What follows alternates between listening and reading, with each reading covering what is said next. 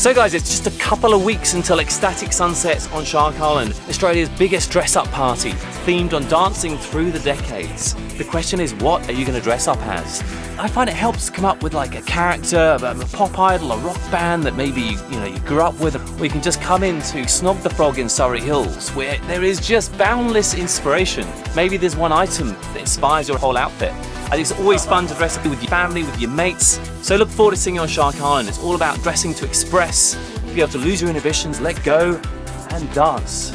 And that will enable this amazing natural high. Whew. See you on Shark Island.